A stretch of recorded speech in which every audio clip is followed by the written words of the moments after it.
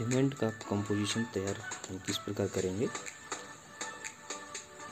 बालू तीन रखेंगे और एक सीमेंट। और उसका जो पानी है वो अपने अनुसार हम डालेंगे कि हमें कितना ढीला चाहिए या टाइट हमें चाहिए। मसाला बनाते वक्त हमें मेन ध्यान रहता है कि जो रेत होती है, रेत इतनी बारीक होना चाहिए, जैसे पतली जाली से उसको हम सही तरीके से छान लेंगे, जिससे कि हमें मॉडलिंग करते वक्त कंकड़ ना आए।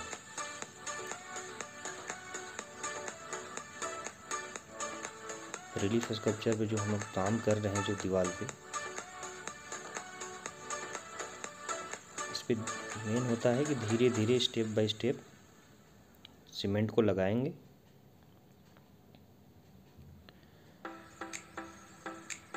एक साथ लगाने से ये भी होता है कि सीमेंट गिरने की चांसेस होती है। अगर आप पहले बार वर्क कर रहे हैं, अगर आपके पास एक्सपीरियंस नहीं है तो इसलिए लेयर बाय लेयर आप काम करें। बहुत ही अच्छे तरीके से वो सीमेंट पकड़ता जाएगा।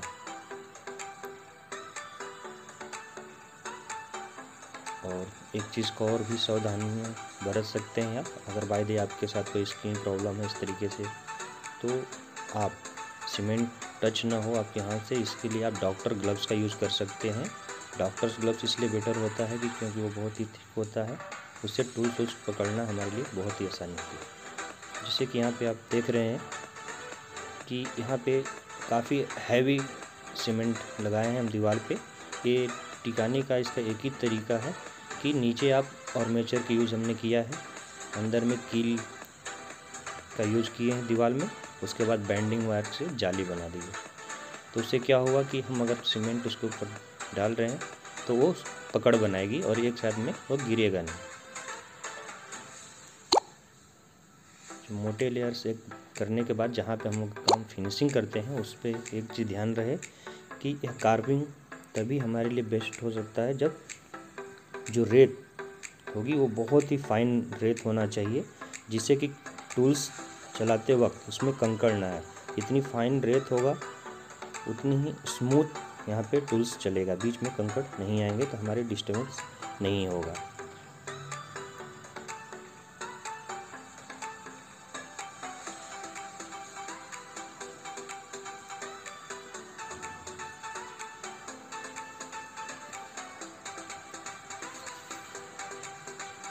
फिनिशिंग वर्क दो तरीके से होता है। कार्विंग करके भी हम कर सकते हैं इस वर्क को और एक धीरे धीरे हम मॉडलिंग करें। हम उतनी ही सीमेंट वहाँ पे लगाएँ जितना कि हमें नीड हो और उस टूल से उसी समय एट टाइम फिनिश करते रहें। दोनों तरीके से हम काम कर सकते हैं।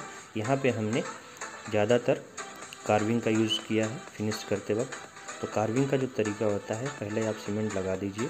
लगाने के बाद उसे 10 मिनट या 15 मिनट तक छोड़ दीजिए, जिससे वो सही से सेट हो जाए। सेट होने के बाद आप मेटल टूल्स लेकर जो भी हो टूल्स कई तरीके से, जैसे आप यहाँ पे हेक्सा ब्लेड का भी यूज़ कर सकते हैं, जिससे अच्छा वो फाइन टूल्स होता है, उसको हल्का सा तोड़कर अपने तरीके से टूल्स बना लीजिए और धीरे धीरे उसको कार्व करते रहिए। सीमेंट जब सेट होने के बाद उसको कार्व करना बहुत ही इजी होता है और स्मूथ तरीके से काम भी होता है।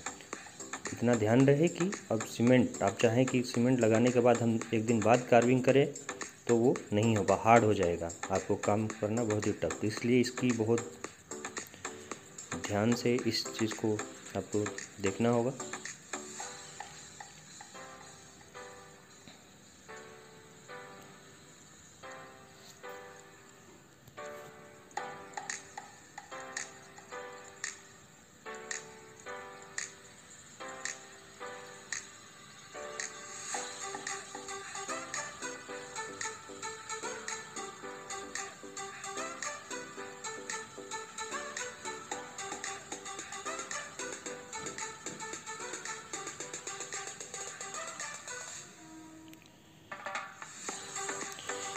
सीमेंट टेक्टिंग में एक और हमारे लिए बेस्ट प्लस पॉइंट होता है कि कभी भी हमें अगर एक्स्ट्रा हुआ तो वहाँ पे हम उसको निकाल सकते हैं और हम पेस्ट भी कर सकते हैं।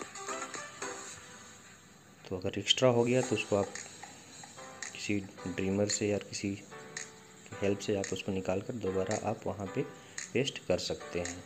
तो ये होता है हमारा जो मीडिया ये प्लास्टिक मीडियम इसको बोला जाता है जिससे हम इजी वे में कभी भी उस पर हम वर्क कर सकते हैं। और काम करने से पहले दीवार को हम सही तरीके से गीले कर लेते हैं। इसका गीले करने से ये होता है कि जब हम सीमेंट लगाते हैं तो सीमेंट लगाते वक्त सीमेंट क्रैक नहीं करेगा अगर दीवार सूखी होगी तो जैसे ही हम सीमेंट लगाएँगे,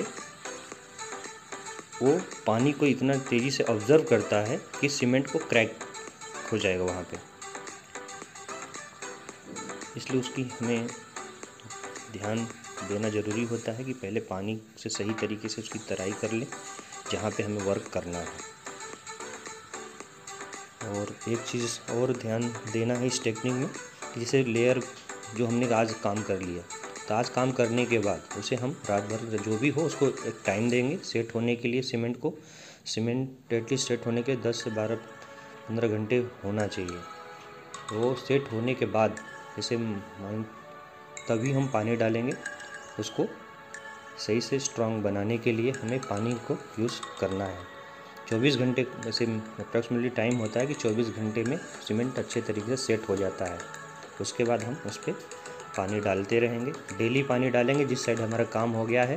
मेन सीमेंट को स्ट्रांग बनाने का है कि पानी की मात्रा उसको पर्याप्त होना चाहिए। अदरवाइज़ वो क्रैक करने के भी चांसेस रहते हैं तो उसको हमें काम करने से पहले जिस काम पे हमने कर लिया, उसको पानी ज़रूर डालें। इस तरीके से हमने ये काम को कंप्लीट किया था। खैतान पब्लिक स्कूल में बच्चों के साथ, और यह काम करने में काफ़ी टाइम लगा, क्योंकि यह काम कंटिन्यू नहीं होता। कभी एक घंटे, दो घंटे इस तरीके से करके बच्चों के साथ हमने यह काम को कंप्लीट किया था। मेन है बच्चों को मोटिवेट करने के लिए। हमने स्कल्पचर बनता किस तरीके से इसलिए मैंने इन बच्चों के साथ मिलकर इस काम को हमको दिखाने की कोशिश किया। धन्यवाद। जो आपने टाइम दिया इस वीडियो को देखने के लिए। Thank you